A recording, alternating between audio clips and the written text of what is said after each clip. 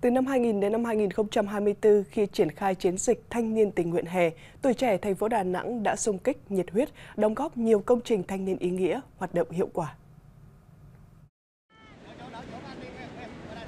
Giai đoạn từ năm 2000 đến 2013, các chiến dịch thanh niên, học sinh, sinh viên tình nguyện hè và phong trào tuổi trẻ Đà Nẵng chung tay xây dựng nông thôn mới đã thu hút 700.000 lượt đoàn viên thanh niên tham gia, đóng góp hơn 500.000 ngày công, làm mới 230 km đường bê tông nông thôn, nạo vét, khơi thông 56,6 km kênh mương nội đồng, trao tặng hàng trăm công trình thanh niên và tổ chức các hoạt động tình nguyện với tổng giá trị hơn 9,8 tỷ đồng.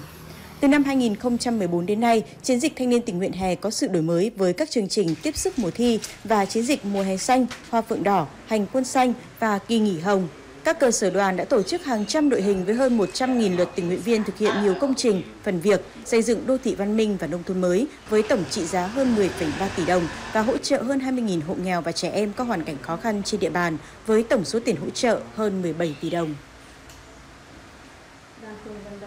Chiều ngày 27 tháng 9 tại Hà Nội, Hiệp hội Du lịch Việt Nam phối hợp với Viện Nghiên cứu Phát triển Du lịch và Câu lạc bộ Du lịch MICE Việt Nam tổ chức diễn đàn Việt Nam điểm đến của du lịch MICE nhằm phát triển loại hình du lịch kết hợp hội thảo hội nghị tại Việt Nam theo hướng chuyên nghiệp, hiệu quả và bền vững.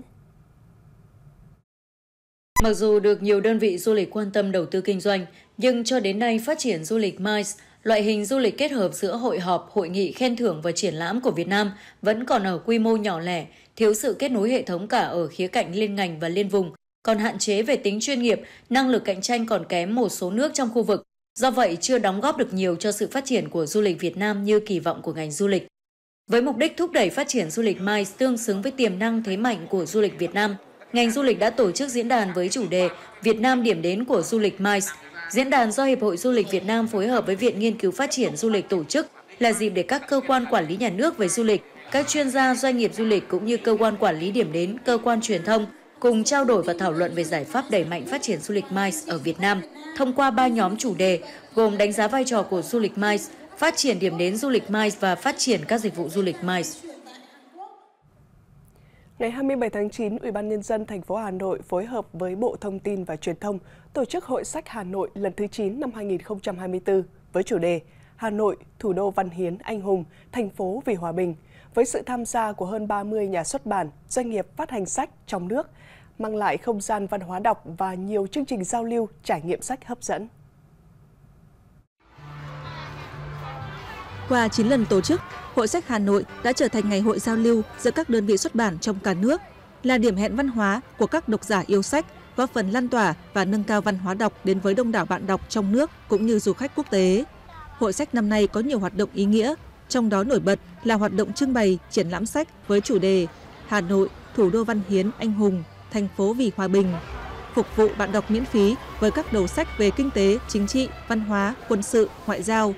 qua đó khẳng định tầm quan trọng của sách trong đời sống xã hội thể hiện truyền thống hiếu học của dân tộc Việt Nam, phát huy những giá trị văn hiến, thăng long, Hà Nội, góp phần nâng cao dân trí, phát triển bền vững nguồn nhân lực của đất nước. Trong khuôn khổ Hội sách Hà Nội 2024, ngoài việc mang đến nhiều tên sách với các thể loại phong phú, đa dạng, nội dung hấp dẫn, các chương trình ưu đãi đặc biệt,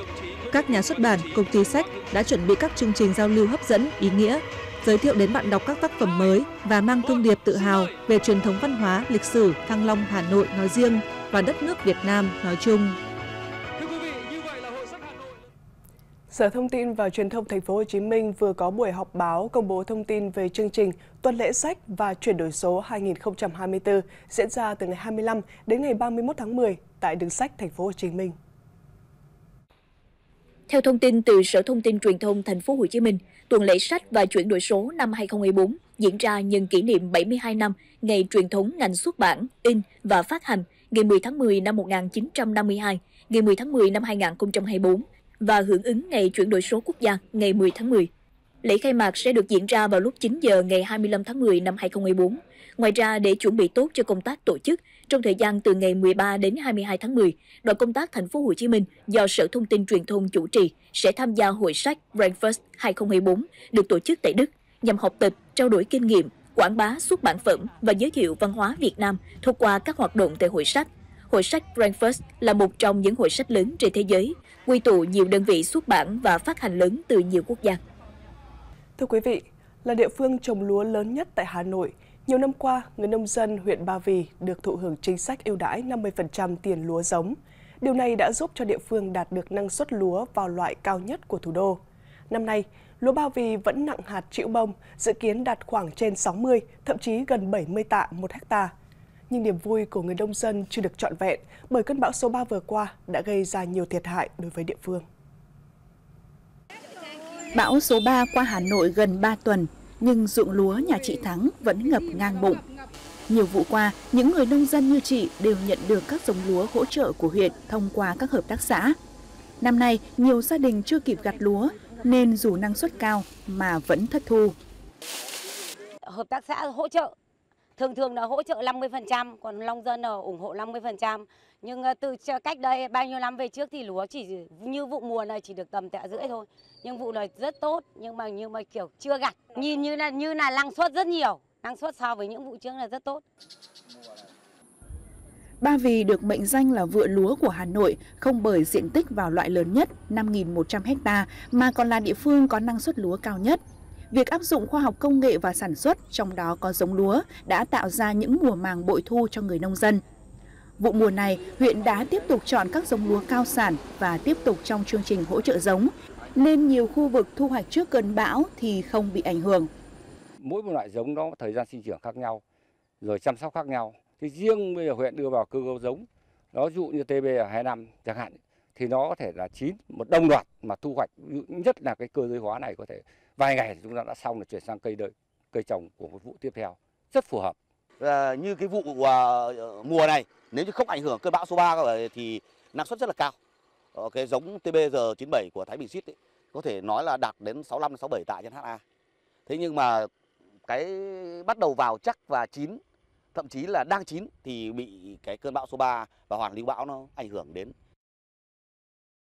Hiện toàn huyện Ba Vì vẫn có tới hơn 1.100 hecta lúa bị hư hại, mất trắng do lúa bị ngập dài ngày, chiếm gần 23% diện tích lúa mùa của toàn huyện. Do vậy, hiện các địa phương mong muốn huyện có thêm các chính sách hỗ trợ người trồng lúa, đặc biệt là tại 7 xã miền núi như Khánh Thượng, Minh Quang.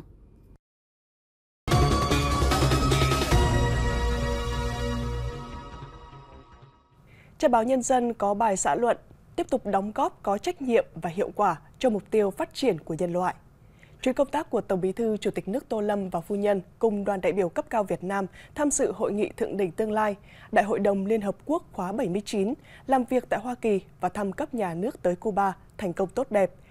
Chuyển thông điệp quan trọng tới cộng đồng quốc tế về tầm nhìn và cam kết mạnh mẽ của Việt Nam đối với mục tiêu phát triển và tương lai của nhân loại, góp phần tiếp tục tăng cường quan hệ đối tác chiến lược toàn diện Việt Nam-Hoa Kỳ – vun đắp tình hữu nghị đặc biệt và đưa hợp tác toàn diện Việt Nam Cuba sang giai đoạn phát triển mới, thiết thực và sâu sắc hơn. Cấp bách trang bị kỹ năng ứng phó với thiên tai là nhan đề bài viết đáng chú ý trên báo Đại đoàn kết số ra hôm nay. Ứng phó, thậm chí chung sống với thảm họa như thế nào không phải là chuyện ở nơi nào xa xôi, mà là chuyện của mỗi nhà, mỗi người. Trẻ em là đối tượng dễ bị tổn thương nhất khi thiên tai xảy ra cũng cần được trang bị những kỹ năng phòng chống để hạn chế thấp nhất rủi ro. Nhiều ý kiến cho rằng điều đó cần được thực hiện ngay từ khi mẫu giáo kéo dài tới hết trung học phổ thông. Còn theo bài viết, cần chính sách chuyên biệt đặc thù trên báo Tiền Phong.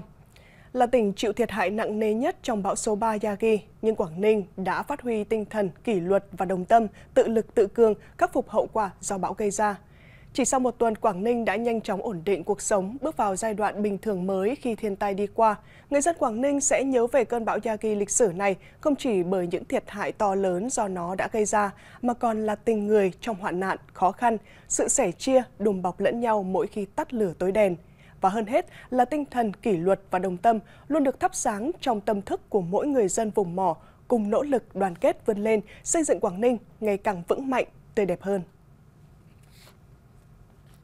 Mục vấn đề hôm nay trên báo Lao động có bài Chặn lộ lọt, lạm dụng thông tin với 8 nhóm dữ liệu không được công khai.